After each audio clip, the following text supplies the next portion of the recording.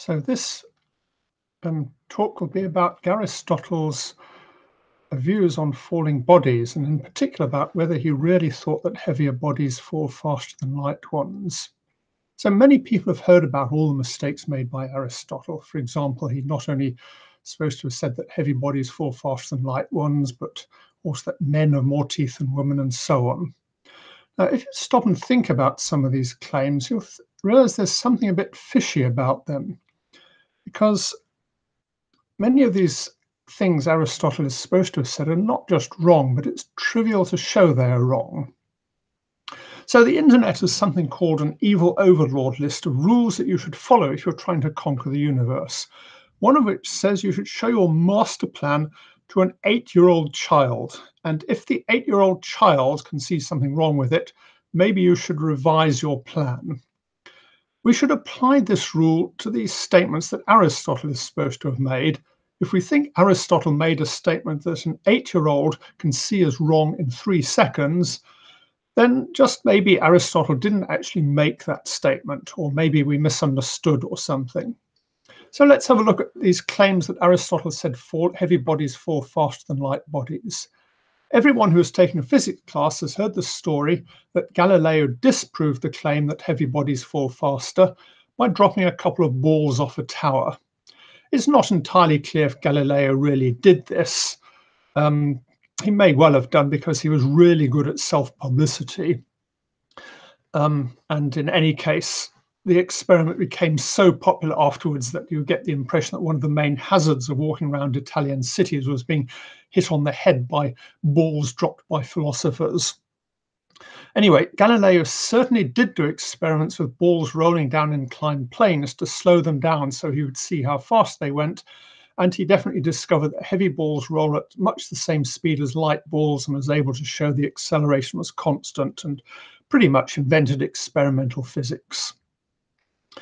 Um, however, you don't need to do such complicated experiments to show that heavy bodies fall at the same speed as light bodies. You don't need to climb towers or do inclined planes. Anyone can do this experiment in two seconds. Here we go. I pick up a small rock and a big rock and I drop them at the same time. And I can see it, they're going at the same speed to within a few percent. And it's completely and absolutely obvious that a stone that is 10 times heavier does not fall 10 times as fast when you drop this. So not only is it stupid to believe that freely, freely falling bodies fall at a speed proportional to their weight, but it's also stupid to believe that Aristotle thought this because Aristotle wasn't a complete moron and couldn't possibly have believed this. Well, um, okay, well, let's see what Aristotle did actually say. Me just get this camera working. Um,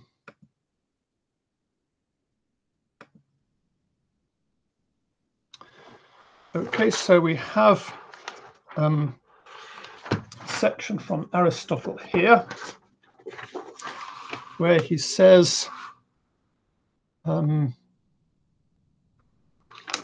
if we look here, um, he says, um, a given weight moves a given distance in a given time. A weight which is as great and more moves the same distance in less time, the times being in inverse proportion to the weights. so this is his book On the Heavens, book one, chapter six, if you want to check. So he says, for instance, if one weight is twice another, it will take half as long to fall over a given movement. So that seems to be pretty unambiguous. Aristotle was saying that heavy bodies fall faster than light bodies.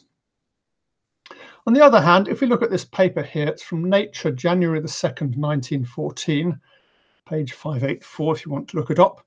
There's a letter from a guy called Hardcastle who said this um, idea that Aristotle made this claim is just nonsense. So here he gives a story about a physics teacher claiming that Aristotle had said that a 10 pound weight would fall 10 times as fast as a one pound weight, and the physics teacher was mocking Aristotle. And here Hardcastle says the physics teacher was wrong. Hardcastle says explicitly that Aristotle never said this at all. Well, we seem to have something a bit puzzling going on. On the one hand, Hardcastle says that Aristotle never said this. I've said that Aristotle never said this. And on the other hand, I've just shown you a passage in Aristotle where Aristotle really seems to say it. So what is going on? Well, Hardcastle explains this. It's a problem of misinterpretation or mistranslation, that the words that Aristotle used, like speed or force, which have been translated as speed and force, don't have exactly the same meanings to Aristotle as they do to us. Um, so let's have another look at a different section by Aristotle. If we look at this section here, um, okay, here he's talking about falling bodies. He says we see the same weight or body moves faster than another for two reasons either because there is a difference in what it moves through as between water, air and earth, or because the moving body differs owing to excessive weight or lightness. I think that's something to do with buoyancy, although it's a bit hard to tell. And he says a medium causes a difference because it impedes moving things. Um, in other words, Aristotle is explicitly considering bodies moving in mediums and is explicitly not considering freely falling bodies.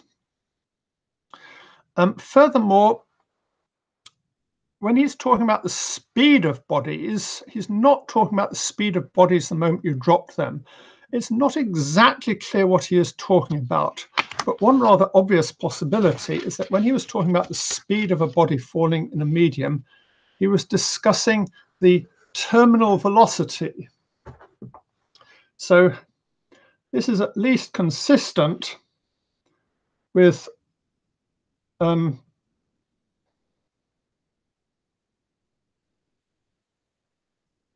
what he said um, in his book. Um, so if he's talking about the terminal velocity of bodies falling in water, then it is indeed true that heavier ones will tend to fall faster than light ones. You can test this yourself by taking a big stone and a small stone and dropping them in a puddle of water. And although Aristotle has a reputation for not doing experiments, this is absolute nonsense. If you read um, his book, they are full of experimental observations, and he almost certainly did drop a couple of stones in a puddle of water to see what happened. Um, so the exact speed with which things fall in water is complicated because you've got the Navier-Stokes equation, which is highly nonlinear. But to a first approximation, the terminal velocity is indeed roughly proportional to the weight. And it also depends on lots of other things, you know, viscosity and the shape of the body and buoyancy and heaven knows what else. Um, but Aristotle's claim that the terminal velocity of falling bodies in water is proportional to weight is simply correct. Um, one of the problems with trying to sort this out is that Aristotle was really considering at least three different effects all at once. He had the force on the body due to gravity, the force caused by buoyancy. Um, he distinguishes a lot between light bodies and heavy bodies, where a light body is one that tends to go upwards and a heavy body is one that tends to go downwards. And finally, there's the resistance caused by the air or water that it falls through. So Galileo had this really brilliant idea of eliminating two of these complications by rolling balls down inclined planes, which makes things much simpler. Um, incidentally, there's one extra complication with balls rolling down inclined planes that the ball is actually rotating. So it actually ends up going slightly slower than you might expect um, because some of the kinetic energy gets converted into rotational energy rather than um, um, translational energy. Um, so let's take a look at another famous passage in Aristotle where he seems to prove that there is no vacuum.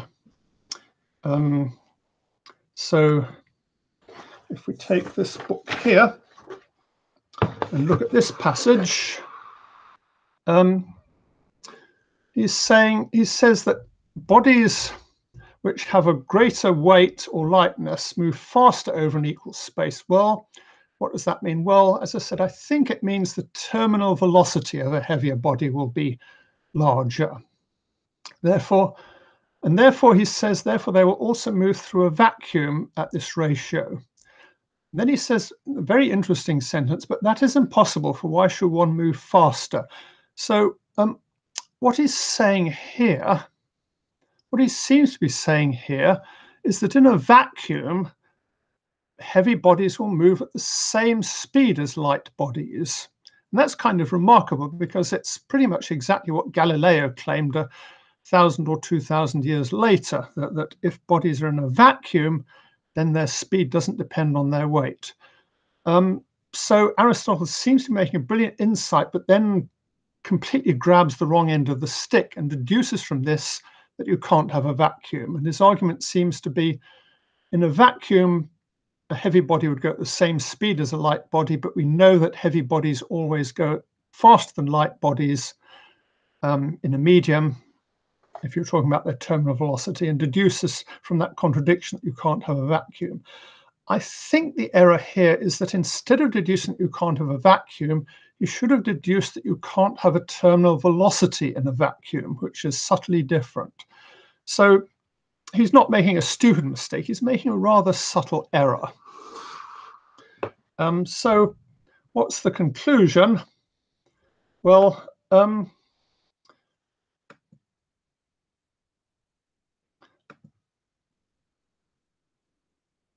so our conclusion is that um, we can't really say whether Aristotle was wrong or not about falling bodies because there is so much uncertainty about what he meant. So we've said that when he talked about speed, he was talking about the terminal velocity of something in a medium, and that's plausible, but we can't really be certain about this.